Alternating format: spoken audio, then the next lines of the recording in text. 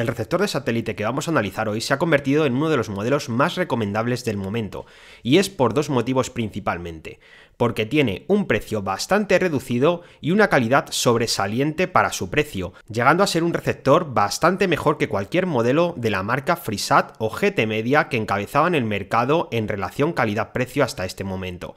Después de la intro te cuento todos los detalles. Hola a todos y bienvenidos de nuevo al canal JTC Channel. Como estáis observando, hoy vamos a analizar el Edition Piccolino S2, un receptor de satélite que podemos adquirir por poco más de 45 euros y que es muy recomendable porque es un receptor de satélite que ofrece mejores prestaciones que cualquier receptor de la conocida marca FreeSat o GT Media por un precio algo más reducido que algunos modelos de esta marca y siendo un producto mejor, mejor procesador, mejor calidad de imagen y más estabilidad. Vamos a ver qué es lo que viene dentro de la caja de este Piccolino S2 de edición y como siempre recordaros que en la descripción de este vídeo os dejo el link de compra del mejor sitio donde podéis adquirirlo. Lo primero que tenéis que hacer si adquirís uno de estos receptores es fijaros en este precinto de la marca. Este precinto no debe estar roto chicos porque esto es una garantía de que el producto no ha sido abierto. Lógicamente yo ya he abierto el receptor encontramos un mando. El mando quizás es uno de los puntos que menos me ha gustado, es un mando bastante compacto. Funciona muy bien, es decir, no he tenido ningún problema con este mando, de verdad, además el tacto de los botones es duro como a mí me gusta, pero me gustan los mandos un poquito más grandes, un poquito más robustos. Este mando del Piccolino S2 se ve algo frágil, pero ya os digo que no he tenido ningún problema con él. También nos incluyen un par de pilas para el mando y esto es de agradecer, aunque no nos incluyen un cable HDMI. Nos incluyen una fuente de alimentación de 12 voltios de tipo estándar y también encontramos en su interior eh, un receptor de infrarrojos que será un accesorio opcional que podremos colocar en nuestro receptor. Si lo colocamos detrás de un televisor o oculto en algún mueble será muy cómodo tener este receptor de infrarrojos.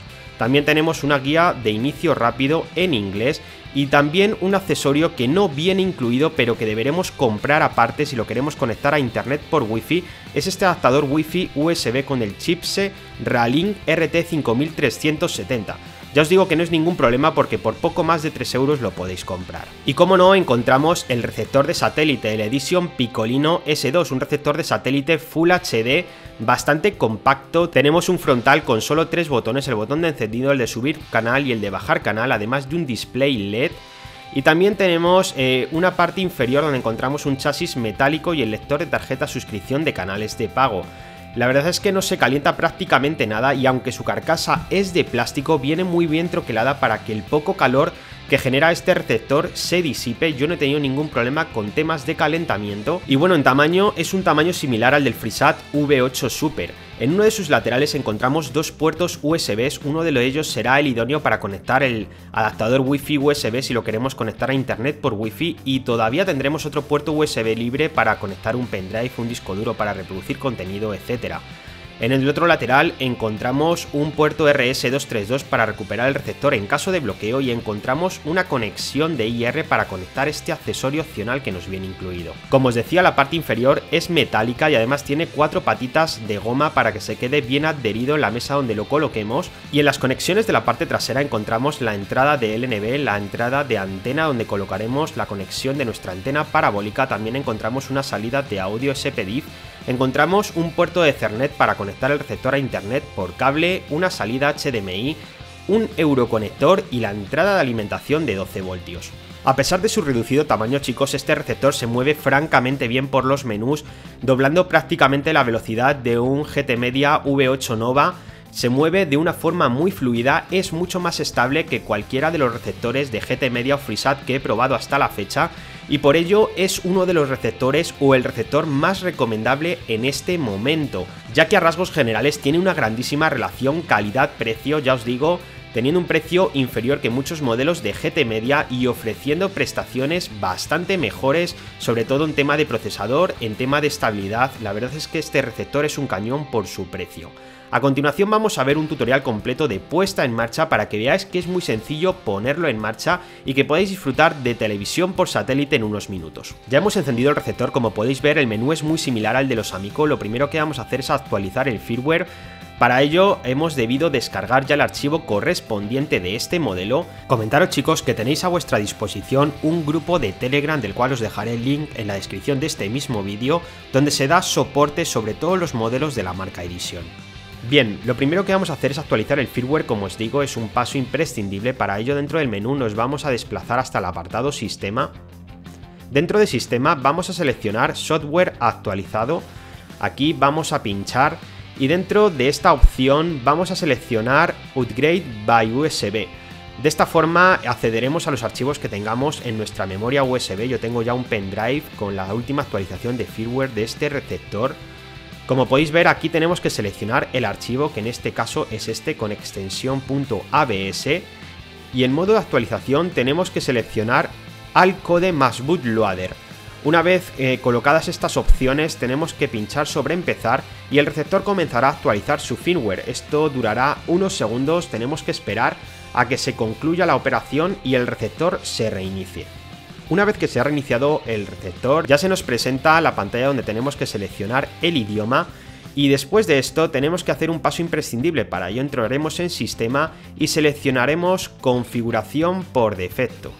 Una vez dentro de configuración por defecto seleccionaremos valores por defecto e introduciremos cuatro ceros como contraseña. Aquí marcaremos sí y el receptor se volverá a reiniciar con todos los valores por defecto. Una vez se ha reiniciado, para dejar la lista de canales limpia seleccionaremos borrar todos los canales y una vez hecho esto podremos instalar los canales que sean de nuestra preferencia. Para ello seleccionaremos en el menú instalación y seleccionaremos satélite instalación.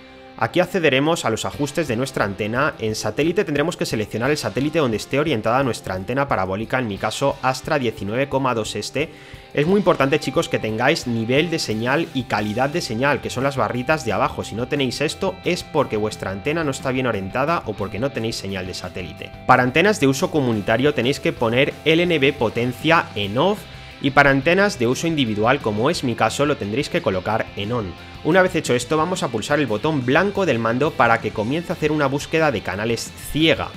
De esta forma encontraremos todos los canales que nos ofrece la señal de nuestra antena parabólica. Esto durará unos minutos. Como veis chicos hemos encontrado casi mil canales, ahora solo nos quedará ordenarlos, para ello dentro del menú entraremos en Service y entraremos en Organizing Service.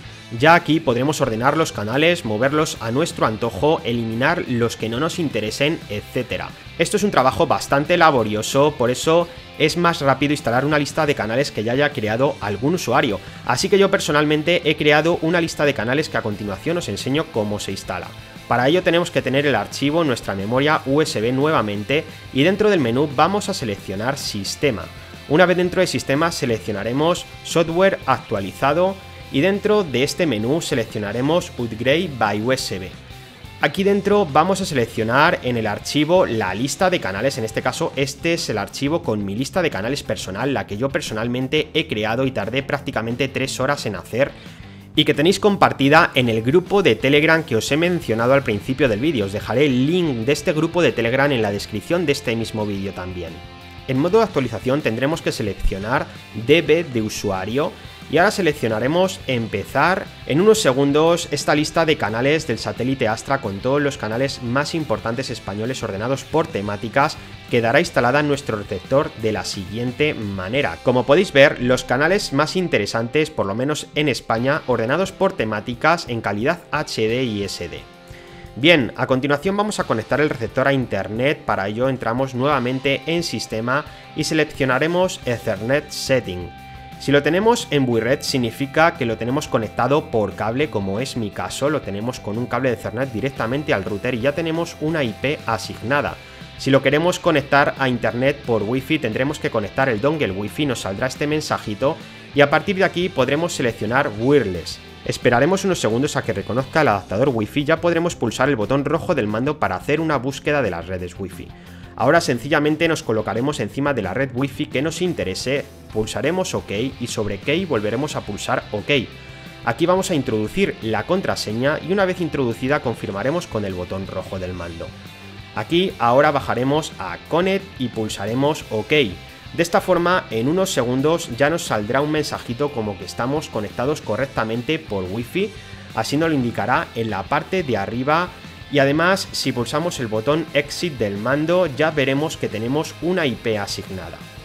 Por último os voy a enseñar cómo acceder a la configuración de la emuladora, para eso dentro del menú entraremos en Conditional Access y aquí dentro entraremos en IP Share.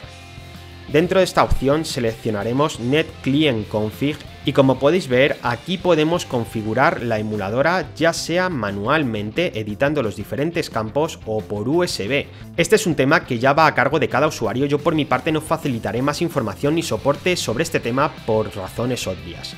Este receptor de satélite, además de ofrecernos el poder ver televisión a una muy buena calidad, también nos ofrece la posibilidad de reproducir contenido multimedia desde un pendrive o un disco duro de los formatos más habituales. Además tendremos funciones de PVR y funciones de grabación de cualquier programa que estén emitiendo. Y como no, tendremos aplicaciones para consumir contenido online como puede ser YouTube, pero dos de las aplicaciones más interesantes son para consumir televisión por IPTV como son estas dos que veis por aquí, y estas correctamente configuradas nos permitirá ver televisión por internet. Aunque el cometido principal de este receptor no es ver IPTV, siempre está bien que nos ofrezcan dichas opciones. Como podéis ver chicos, un receptor de satélite muy sencillito de poner en marcha, ideal para poder visualizar televisión por satélite sin complicaciones. Yo llevo utilizándolo prácticamente dos meses, ya he colocado alguno a familiares y amigos y la verdad es que están todos encantados. Con este receptor de satélite ya no nos hace falta irnos a marcas como GT Media que ya estaban subiendo un poquito los precios, el modelo el V8 Nova, V8 Honor andaban por 55 euros, este receptor vale 10 euros menos y nos ofrece características más destacables que estos de GT Media. Para concluir voy a criticar un par de cosas que creo que pueden ser mejorables, una de ellas es su mando, como os decía antes, a mí me gustan los mandos un poquito más robustos, un poquito más grandes, no significa que este mando funcione mal chicos, sencillamente que no me ha gustado especialmente, y otra de ellas es que no incluyan adaptador Wi-Fi USB para conectar el receptor a internet por Wi-Fi, si queremos conectarlo de este modo tendremos que hacernos con un adaptador de forma independiente. Por lo demás, ya os digo que es el receptor de satélite económico más recomendable del momento. Espero que este vídeo os haya gustado chicos, si es así dejarme un buen like, tampoco olvidéis comentarme vuestras dudas y sugerencias, no olvidéis suscribiros al canal y activar las notificaciones para más vídeos como este, y todo vuestro apoyo es poco en este canal que empieza de cero. Una vez más, muchas gracias por estar al otro lado y yo me despido de todos vosotros, hasta el próximo vídeo.